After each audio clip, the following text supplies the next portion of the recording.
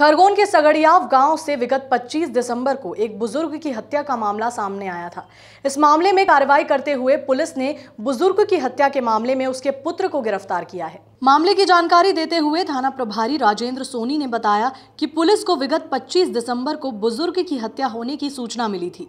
इस मामले की जाँच के दौरान पुलिस को उसके पुत्र शिवपाल सिंह पर ही शंका हुई, जिसके आधार पर पुलिस ने उसके पुत्र को हिरासत में लेकर सख्ती से पूछताछ की, जिसमें उसने अपने पिता की हत्या करना कबूला। पच्चीस तारीख की रात में करीब बारह, सवा बारह के आसपास ऐसी हमारी हंड्रेड डायल खबर मिली थी कि सगड़ियाओं में एक व्यक्ति की हत्या हुई है। तो वहाँ पर पुलिस बल पहुँचा हंड्रेड डायल भी पहुँची, फिर मैं भी पहुँच गया। मेरे साथ अपने निरीक्षक नीरज लोधी और दीपक तलवारे, पाटिल साहब, हमारे काफ़ी बल हम लेके गए थे वहाँ पे, क्योंकि सगड़ियाव बड़ी संवेदनशील जगह है। जब हम लोग गाँव पहुँचे तो वहाँ पे शिवपाल नाम का एक व्यक्ति, लड़का है, उसने बताया कि उसका खेत है सगड़ियाव से थोड़ा आगे।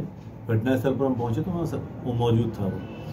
तो वहाँ पे पाया कि उसने बताया कि मैं अपने पिताजी को, पिताजी के साथ में खेत पे पानी देने के लिए रात में करीब साढ़े नौ बजे आया था और एक आध घंटा पानी देने के बाद में पिताजी साढ़े दस बजे नीम के झाड़ के नीचे सो गए।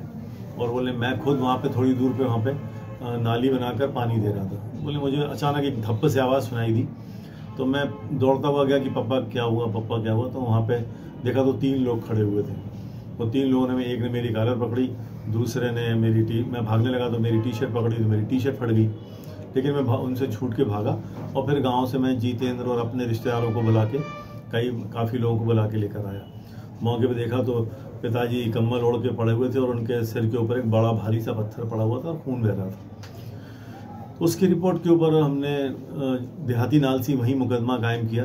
302 का हत्या का अज्ञात व्यक्ति के खिलाफ। और देहाती नालसी ही मर्ग की ली और पूरी कार्रवाई करी। शव को पोस्टमार्टम के लिए भिजवाया, पंचनामा वगैरह की कार्रवाई के बाद में। उसने ये ज़रूर बताया था, हमने जब पूछा कि किसी से रंजिश थी क्या तो उसने बताया कि सगड़ियाओं का जो बबलू है, बबलू खान, इसका पास में ही गिट्टी क्रेशर है, वहाँ से सौ मीटर दूरी पे। तो एक साल पहले वाले पिताजी नाली खोद रहे थे खेत में तो बबलू ने कहा था कि नाली वाली मत खोद, नहीं तो जेसीबी के नीचे गाड़ दो। तो रंजिश वाला पहला पहलू देखा जाए तो केवल एक बबलू सगड़ियाओं का जो निवासी है उसके साथ में इतनी छोटी सी बात थी। फिर जब हमने इन्वेस्टिगेशन में पता किया तो पता चला कि ये घटना तो लगभग ढाई से तीन साल पुरानी है। और उसके बाद तो इनमें रोटी बेटी चल रही थी मतलब मौत मिट्टी में भी जा रहे थे शादियों में भी आ, आ रहे जा रहे थे तो इतना सिग्निफिकेंट नहीं था। तो लाइन ऑफ़ इन्वेस्टिगेशन में और भी चीज़ों को ध्यान में रखना था। फिर जब उसने किस्सा सुना रहा था शिवपाल कि मुझे धप्प से आवाज़ सुनाई दी। तो हमने सुबह अगले दिन प्रैक्टिकल करके देखा कि जिस स्थान पर बताता है, पत्थर गिरने की आवाज़ सुनाई देना, वहाँ पे यदि घटना स्थल पे पत्थर पटका जाए ऊपर से तो वहाँ इतनी दूरी पे पत्थर सुनाई पत्थर की आवाज़ गिरने की सुनाई नहीं देती। क्योंकि जहाँ पे लाश पड़ी हुई है, वहाँ पर पास में एक पानी का डबरा सा भरा हुआ, उसमें एक मोटा पाइप लगा और पानी चल रहा था। तो पानी चलने की इतनी तेज आवाज़ के साथ में पत्थर गिरने की आवाज़ वहाँ पे सुनाई दे ये संभव नहीं था। तो शंका के दायरे में तो था वो। फिर जब थोड़ा सा हम लोगों ने पूछताछ करी गाँव में तो कुछ घंटों में हमको बहुत महत्वपूर्ण जानकारियाँ लगी कि आ, ये जो रिपोर्ट करता था शिवपाल इसका चरित्र अच्छा नहीं था। काफ़ी इसके कुछ लड़कियों लड़कियों से संबंध की बात सामने आई। फिर ये इसके जुआ सट्टा खेलने की बात सामने आई।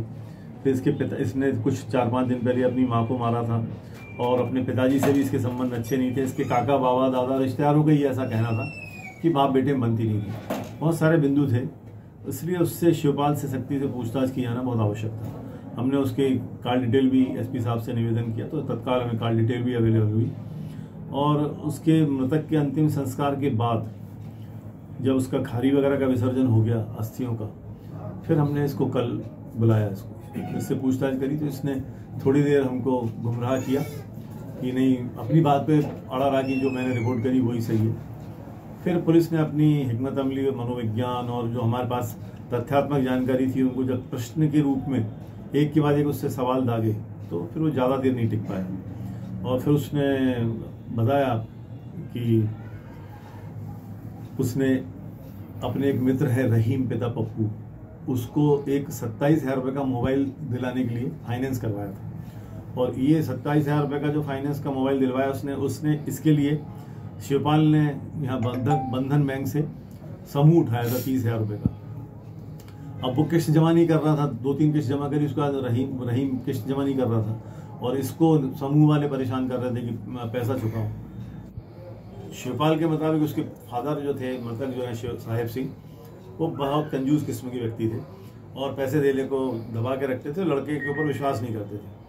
तो इसको लगा कि यदि कभी पिताजी तक बात पहुँची कि फाइनेंस से मोबाइल सामने वाले को दिलवाया है और समूह उठाया है तीस हज़ार रुपये का तो घर में बतंगड़ बनेगा और झगड़ा होगा। दूसरा महत्वपूर्ण बिंदु ये था कि इसको ये भी लगता था कि इनकी इच्छापुर खंडवा रोड पे एक ज़मीन है, एक एकड़ ज़मीन करीब है, उसका, वो ज़मीन उसमें चली गई है, उसका अधिग्रहण हो गया है उसका करीब सत्तर बहत्तर लाख रुपए इनको मिलना है। तो इसको, और सत्तर हज़ार रुपये एक और मामले में मिलना है, इनको किसी ज़मीन संबंधी मामले में।